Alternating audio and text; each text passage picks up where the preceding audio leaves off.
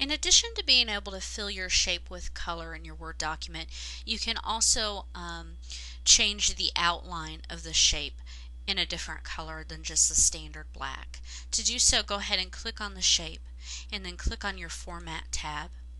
And then in the Shape Styles section on the ribbon, go ahead and click on the Shape Outline drop down box. It's the middle button to the right and you're going to have some basic colors up at the top and as you hover your mouse over these buttons it's going to show the different color being applied to your shape in your document.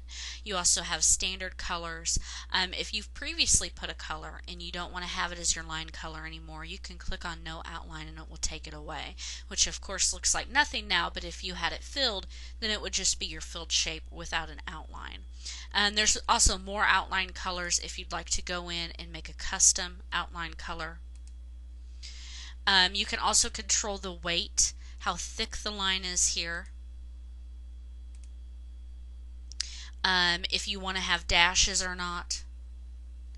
And then if you want to have a pattern for your line, then you'd click on pa pattern and you would apply that to your line.